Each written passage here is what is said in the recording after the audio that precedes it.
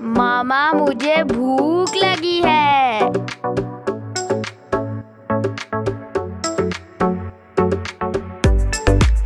बिस्मिल्लाहिर्रहमानिर्रहीम। अस्सलाम वालेकुम क्या हाल है व्यूवर्स? उम्मीद करती हूँ कि आप सब खैरियत से होंगे।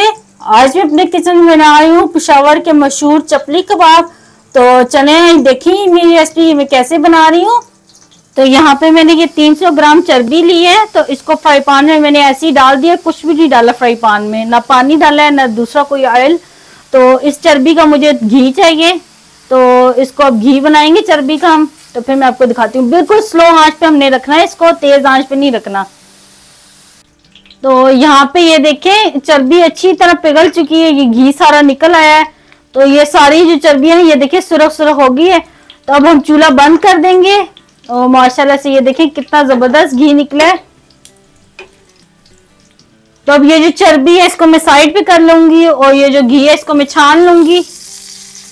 तो यहाँ पे ये देखें, मैंने एक बाउल ले लिया तो ये चाय छन्नी मैंने लिए तो इसमें ये सारा घी हम छान लेंगे।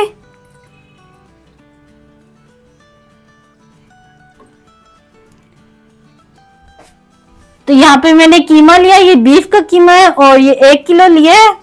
तो ये बाहर से मैंने अच्छी तरह मशीन से कराया था, लेकिन इसको एक दफ़ा मैं चॉपर में दोबारा पीसूँगी। तो यहाँ पे ये देखें कीमे को मैंने अच्छी तरह चॉपर में एक दफ़ा दोबारा पीस लिया। ये देखें कितना अच्छा से ये मैश हो गया। है यहाँ पे मैं एक प्याज डाल रही हूँ, जिसको मैंने बारीक बारीक चॉप किया था और प्याज का पानी मैंने अच्छी तरह निचोड़ लिया था। प्याज को बिल्कुल चॉप करके डालना है। और यहाँ पे ये तीन चार हरी मिर्चें मैंने चॉप की थी, ये डाल देंगे। एक अदर टमाटर लिया था, इसको भी बारीक चॉप कर लिया मैंने, ये डाल देंगे। और यहाँ पे देखिए टमाटर का पानी ये नहीं डालना। और दो खाने के चम्मच, यहाँ पे अदरक लहसुन कूटा है, फ्रेश, और थोड़ा सा हरा धनिया है, और थोड़ा सा पुदीना है, ये डाल देंगे इसमें। तीन खाने के चम्मच यहाँ पे मकई का आटा डालेंगे। तो अगर मकई का आटा नहीं है आपके पास तो बेसन को रोस्ट करके वो डाल लें। मैदा है तो मैदा डाल लें, लेकिन ज़्यादा इसके अंदर ना मकई का आटा डलता है तो फिर इसका फ्लेवर बहुत अच्छा आता है। नमक डालेंगे इसमें हसबे जैका पिसा हुआ गरम मसाला डालेंगे आधा चाय का चम्मच। एक चाय का चम्मच डालेंगे साबुत जीरा। एक चाय का चम्मच डालेंगे साबुत धनिया। इसको हाथों में इस तरह क्रश कर लेंगे। और यहाँ पे ये मेरे पास चपली कबाब का मसाला है तो ये डालेंगे एक पैकेट। तो थोड़े से मसाले अपने पास से भी डालने ताकि ना जरा और चटपटे बने, क्योंकि हम लोग मसाले तेज खाते हैं और ये जो पैकेट के मसाले होते हैं, ये जरा हल्के होते हैं। तो एक पैकेट मैंने डाल दिया इसमें। एक चाय का चम्मच डालेंगे कुटी मिर्च और अब अच्छी तरह तमाम मिक्सचर को हल कर लेंगे। तो यहाँ पे ये देखिए, तवा मैंने चढ़ा है तो इसमें तीन खाने के चम्मच हम ऑयल के डालेंगे। और ये मेरे पास दो अंडे ये डाल देंगे।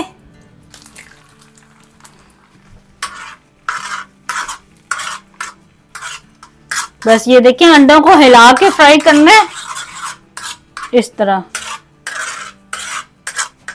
और ये देखिए, अंडे को मैंने हाफ़ कुक कर लिया है। तो अब चूल्हा बंद कर दिया है मैंने। तो अब ये डाल लेंगे हमको बाबों के मिक्सचर में। वो यहाँ पे ये देखिए, ये मिक्सचर में हम डाल देंगे।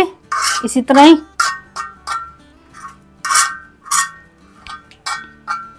और चले कबाबों को ये मिक्सचर को दोबारा अच्छी तरह मिक्स कर लेंगे। तो यहाँ पे ये देखिए, कबाबों के मिक्सचर को मैंने अच्छी तरह मिक्स कर लिया है। और अब इसको एक बाउल में रख देंगे। क्योंकि इसको हमने मैरिनेट करने के लिए रखना है तकरीबन तीन घंटे के लिए, ताकि इन सब मसालों का ना अच्छा सा फ्लेवर आ जाए कीमे में। सर्दी हो तो आप इस मिक्सचर को बाहर ही तीन घंटे के लिए रख दें शेल्फ पे। तो अब गर्मी है तो मैं इसको फ्रिज में रखूँगी तीन घंटे के लिए। तो लें जी, ये कीमा अच्छी तरह मैरिनेट हो गया है। तो अब इसके हम कबाब बनाते हैं। तो आपने जिस साइज़ का कबाब बनाना है, आप उस साइज़ का बनाना है? तो मैं ज़रा मीडियम साइज़ का बनाऊँगी, बहुत बड़ा नहीं बनाऊँगी, क्योंकि ये जो पिशावरी चपली कबाब होते हैं, ये बहुत बड़े बड़े होते हैं। तो मैं ज़रा छोटा बनाऊँगी। अच्छी तरह पहले इसे करना है, यूँ दबाना है। फिर उसके बाद इस तरह फैला लेना है। और इनकी कोई शेप भी नहीं होती। ये ऐसी होती हैं टेढ़े मेढ़े। तो ये देखें, ये इस साइज़ का मैंने बना लिया कबाब। तो अभी ये फ्राई होगा तो ज़रा और शिलिंग हो जाएगा। तो यहाँ पे इसके ऊपर हम एक ये टमाटर का स्लाइस लगाएँगे। तो अब इसको इस तरह बना के रखते रहेंगे तो यहाँ पे ये देखें, पिशावरी चपली कबाब बनाने के लिए हमने बड़ा सारा तवा ले लिया है। ये जो चर्बी का मैंने घी बनाया था तो ये जम गया है तो ये डालेंगे इसके ऊपर। ये जो पिशावर में बनाते हैं चपली कबाब, वो चर्बी के घी में बनाते हैं तो बहुत ही मज़े के लगते हैं।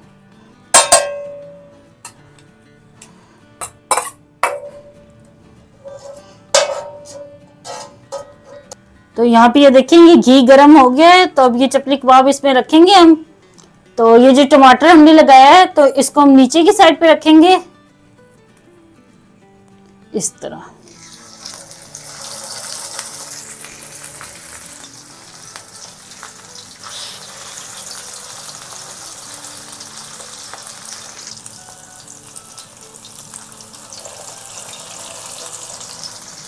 तो यहाँ पे ये देखें, एक टाइम पे ये तीन कबाब में तल रही हूँ। तो चले अब इनको पलटते हैं। बिस्मिल्लाहिर्रहमानिर्रहीम कितने ज़बरदस्त, ये देखिए फ्राई हुआ है।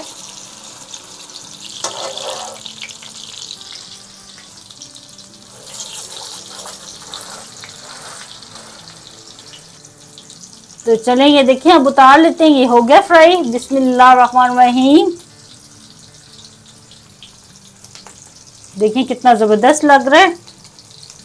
नहीं जी, तैयार है। बहुत ही ज़बरदस्त ये पिशावरी चपली कबाब। आप भी अपने घर में लाजमी ट्राई करना और मुझे कमेंट में बताना कि आपको ये मेरी रेसिपी कैसी लगी। मुझे दुआ में याद रखना। अल्लाह आपका मैं नासिर हो। अल्लाह हाफिज।